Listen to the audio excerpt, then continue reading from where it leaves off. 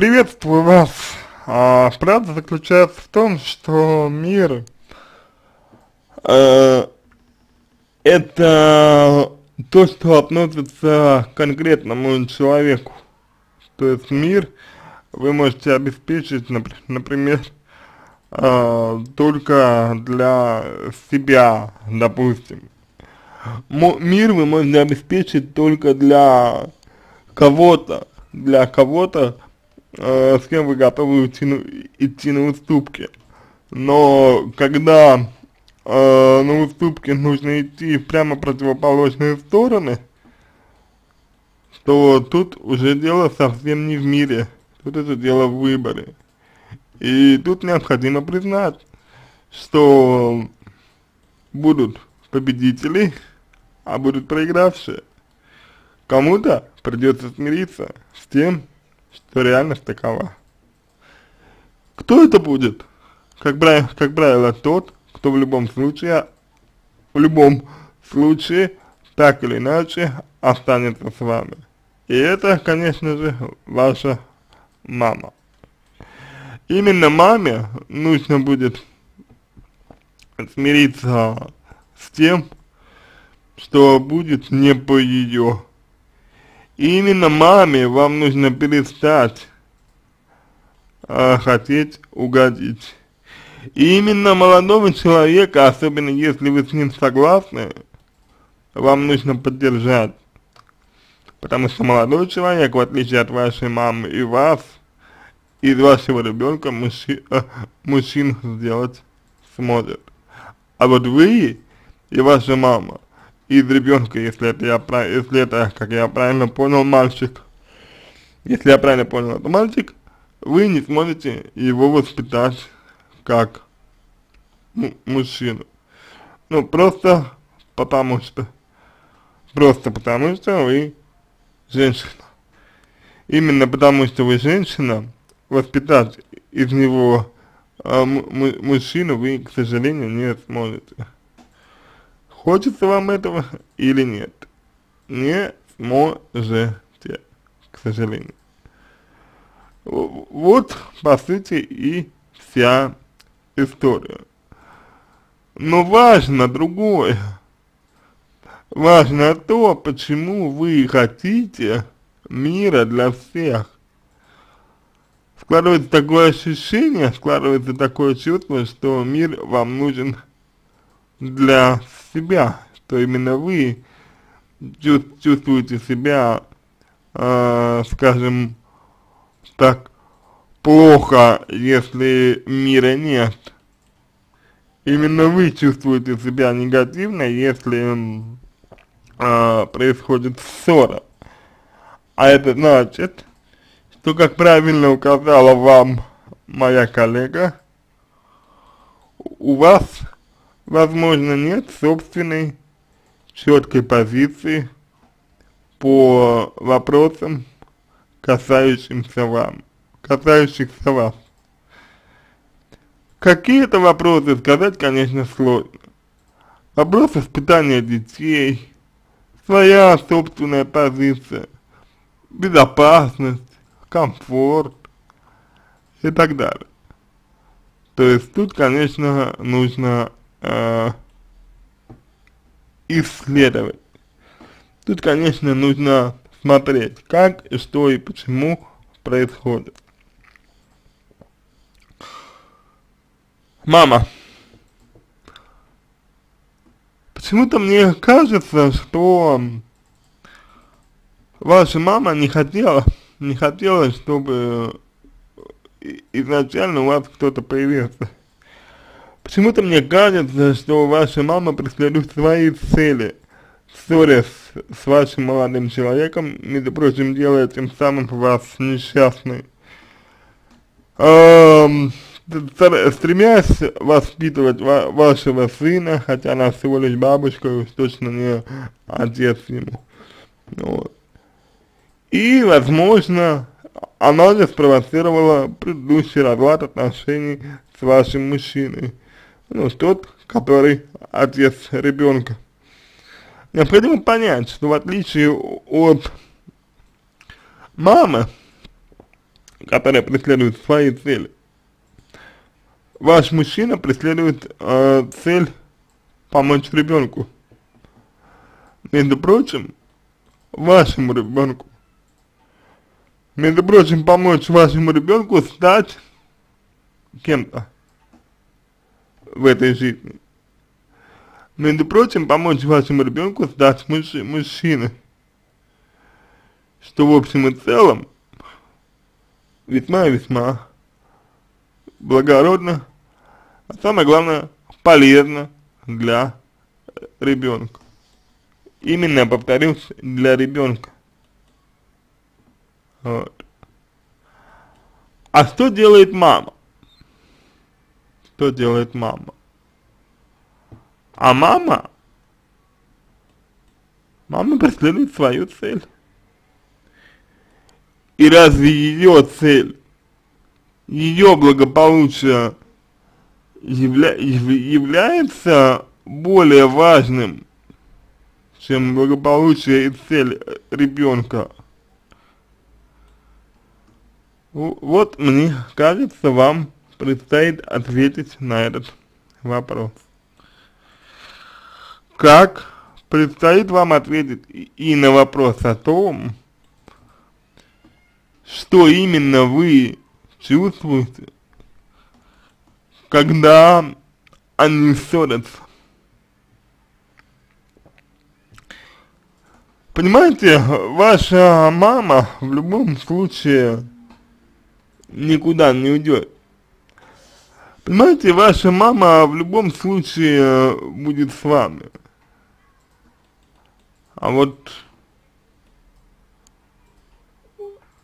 останется ли с вами мужчина? Большой вопрос. Лично мне кажется, что может и не остаться. А, а как думаете вы? Я думаю, именно так можно ответить вам на ваш вопрос, который вы задаете. Конечно, я понимаю, что неприятно, но именно вам нужно сделать выбор. Именно вам нужно принять решение. Именно вам нужно ориентироваться на свои желания.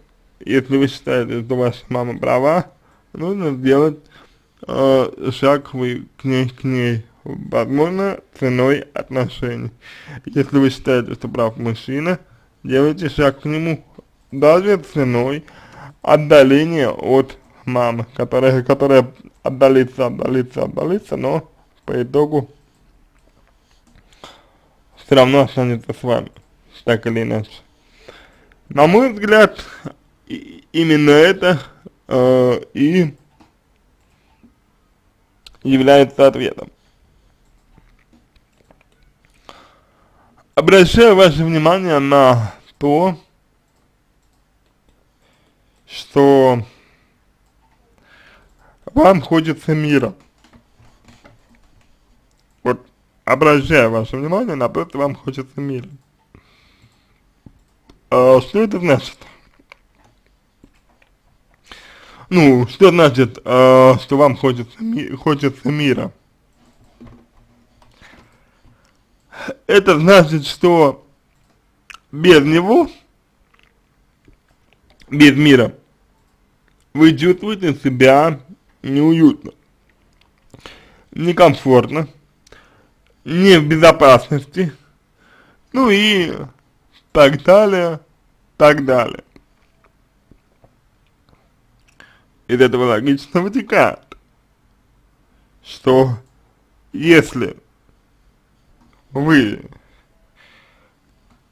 не чувствуете себя в безопасности, то это значит, что у вас не простроены личные границы, потому что безопа безопасность э, человека это именно э, наличие у него личных границ, границ личной ответственности в том числе. Личные границы это правило. Личные границы – это личная ответственность и личные правила. Ответственность – это за что отвечаю я, за что отвечает другой человек, а правила – это готов, готовые решения э, по поводу тех или иных ситуации, тех или иных условий, тех или иных задач. То есть, когда, грубо говоря, возникает какая-то история, когда возникает какая-то задача, например, вот как у вас э, произошло с, э, значит, мамой, вот, а, должно было быть правило, согласно которому вы бы знали, как себя вести. Но этого правила нет. У вас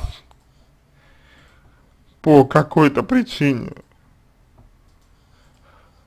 Вот и стоит подумать о том, чтобы эти правила были. И тогда, вероятно, проблем у вас станет меньше. А самое главное, на наличие или отсутствие мира, вам, в принципе, будет все равно. Такая вот история. Не, не хотелось бы вас к, чему-то принуждать, не хотелось бы вас, э, не хотелось бы вам что-то конкретное рекомендовать, я думаю, вы сами примете, примете решение. Вот, скажу только, э, что пока что получается, что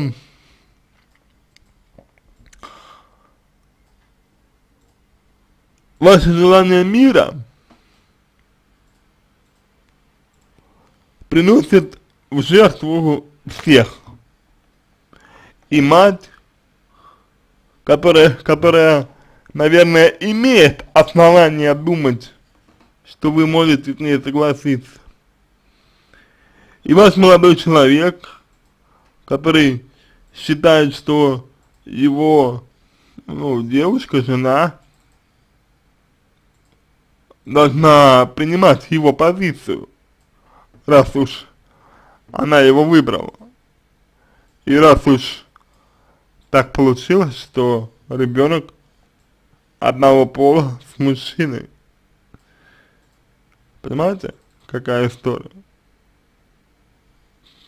Подумайте, что из-за того, что вам хочется мира, хочется, чтобы все были довольны, страдают как минимум три близких человек.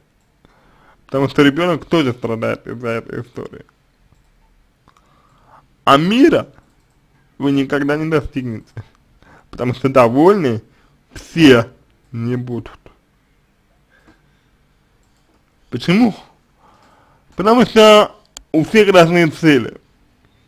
И если у кого-то цель направлена на одно, то у кого-то направлена на другое. Это неплохо и нехорошо. Это просто есть. Чем быстрее вы это поймете, тем лучше будет для вас. Возможно, вы боитесь осуждения, возможно, вы боитесь гнева, возможно, вы вообще боитесь конфликтов, и э, когда происходит конфликт, вам хочется, э, например, убежать. Я же не знаю, мы же, мы же вас не знаем. Но если это так, если это так, если э, ситуация действительно э, такова, что вы боитесь конфликтов, например, то, на мой взгляд, стоит поработать именно с тем, почему вы боитесь конфликтов. И сделать так, чтобы бояться их вы перестали научиться вести себя в конфликтах, освоить соответствующие навыки и, и, все. И проблем, на мой взгляд, тогда не будет. Вопрос в том, захотите ли вы это делать. Вот. Итак, а, поймите, поймите свою маму, какие у него цели, чего она добивается, к чему она стремится, в чем ее выгода. Поймите своего молодого человека, чего хочет молодой человек, в чем выгода его. И после этого сделайте выбор, чья точка зрения вам ближе.